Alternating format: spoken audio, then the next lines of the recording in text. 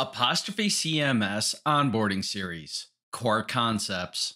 In this tutorial, we'll discuss the key concepts to understand in order to architect and build your applications efficiently. We will discuss each concept more deeply in other guides. This is simply an overview to become familiar with the terms. Apostrophe is built using a system of modules. We'll get into a more detailed technical review of Apostrophe's module system later in this training, but for now, just understand that everything in Apostrophe comes from a module. If you're familiar with JavaScript modules, this concept should already be familiar to you. But if not, a module is a self contained set of code that defines a specific set of functionality.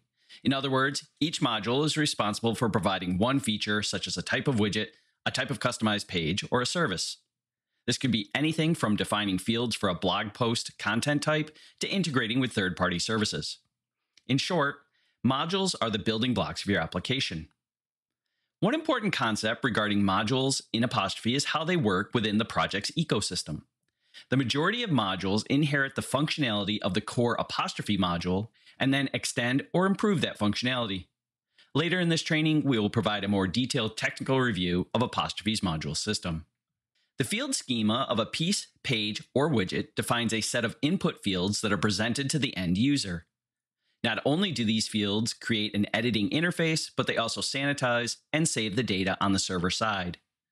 Commonly used field types include strings, integers, floats, select elements, and relationship fields, which allow editors to define connections to other docs. A module schema is built according to what is defined in its fields object via the add, remove, and group properties, as well as what is inherited from the fields configuration of the parent module. For example, every module that extends the apostrophe CMS widget type will by default have the same schema inherited from the parent module and will be able to add, remove, or edit the grouping of these fields inherited. Pages in apostrophe are used for content that is typically edited less frequently and should be organized hierarchically within a page tree rather than by date or taxonomy. Pages are always viewed as a page and are rarely reused for content in other contexts. Pages are typically for less structured content, so are generally more free form. Pages can be made as editable as needed or can purely serve static content. Page types are created by extending the apostrophe CMS page type module and can be configured using schemas. Each page type module created is assigned a page type, such as blog page. This page type enables developers to establish a consistent template that matches the desired layout and functionality for that particular type of page. Out of the box, Apostrophe defines a home page type for you that is parked at the top of the page tree. Other pages are typically subpages of the home page. Piece types in Apostrophe are collections of structured content, often referred to as content types in other systems. Each item created from a piece type is a piece. Pieces are typically organized by date or taxonomy. Field schemas are used to define the data modal of a particular piece type. When you define a piece type by extending the apostrophe CMS piece type module, apostrophe will include the required schema fields out of the box, such as the title and slug fields. You can then configure your schema with more fields to fit your requirements. Pieces can be displayed using pieces pages, which are specialized page types, or widgets. Pieces pages can show a collection of pieces through the index.html template page or an individual piece using the show.html template page.